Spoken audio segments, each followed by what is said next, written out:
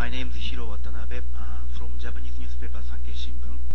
Uh, my question would be uh, not directly related to uh, today's uh, landing, but I want to ask uh, Administrator Griffin about Space Shuttle's retirement. It will happen in uh, 2010, and uh, next generation uh, space uh, craft, Orion, uh, will appear maybe uh, 2014 or 2015. And uh, uh, would be uh, crucial, crucial for uh, Japanese manned space activity. So I want to ask, is there any possibility uh, uh, to postpone to postpone the timing uh, space shuttle's retirement? I mean, you will could you could do, do you have an option to use space shuttle, continue using space shuttle after 2010? No, I'm afraid not. Uh, we are retiring the shuttle in 2010.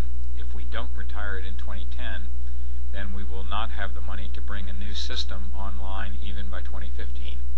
Uh, in the interim, we expect to uh, purchase crew transportation services uh, from our Russian partners, and we expect to meet our obligations to our international partners, including Japan, uh, by that means.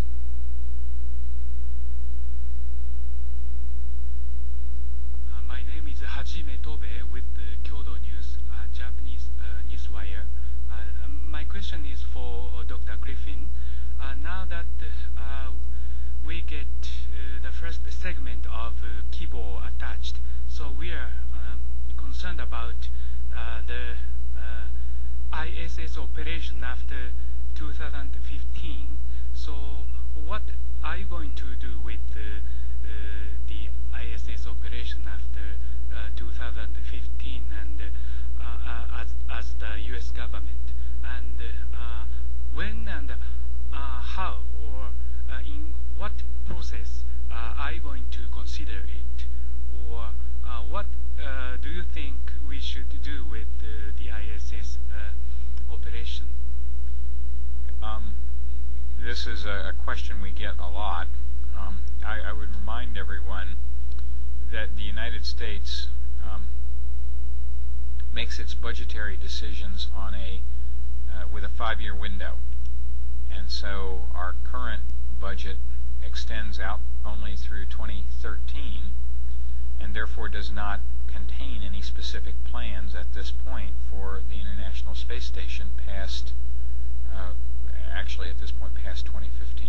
Now, you know, I've said on a number of occasions that uh, I will not be the administrator at that time. Today's president will not be president at that time.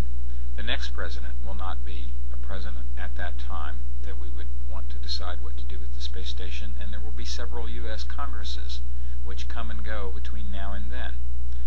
So the decision makers of that time, not this time, will be the ones to decide what to do with the station after the, the 2016 date. Uh, I, as a purely personal opinion, because I will not be in this job at that time, but as a purely personal opinion, um, I find it difficult to imagine that U.S. policymakers will want to stop operating a, a perfectly good space station. So if the space station is working in 2016 and beyond, my own expectation is that it will still be still be in operation.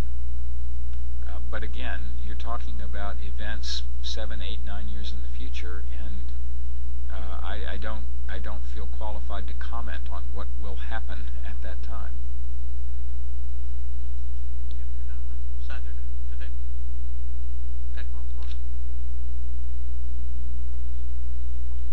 Vic From ABC, probably from Mr. Gerstenmaier. The crew chose not to speak to microphones tonight since you all saw them close up. And ask whichever one of you wants to venture an opinion how steady or unsteady you thought they were on their feet, and after uh, 16 days in zero gravity, what were you expecting?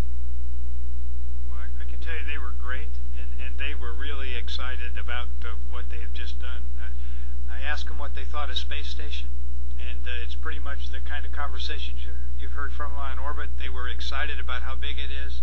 how really a magnificent a research facility it, it is. Um, just the size, the scope of what they've done was exciting. I asked them if they were tired, and they were.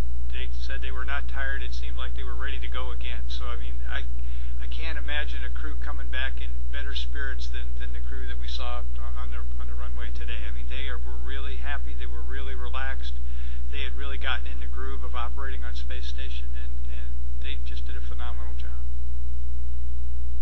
And actually, Vic, just to point something out, it actually was not the crew's decision not to speak. It was actually a, a, a, I'll take responsibility for this. We had a lighting issue on the tarmac and weren't able to uh, to light them, so they they weren't able to do their. Uh, they didn't choose not to. They just weren't able to, to provide comments. So we're gonna have to wait till tomorrow morning, to, uh, tomorrow afternoon, actually, to, to hear from them. But uh, it was not their decision. It was a mistake on public affairs part. So, um, you have any other questions uh, right now? All right. Speaking of that, uh, our next news conference is uh, for STS 123 is the crew.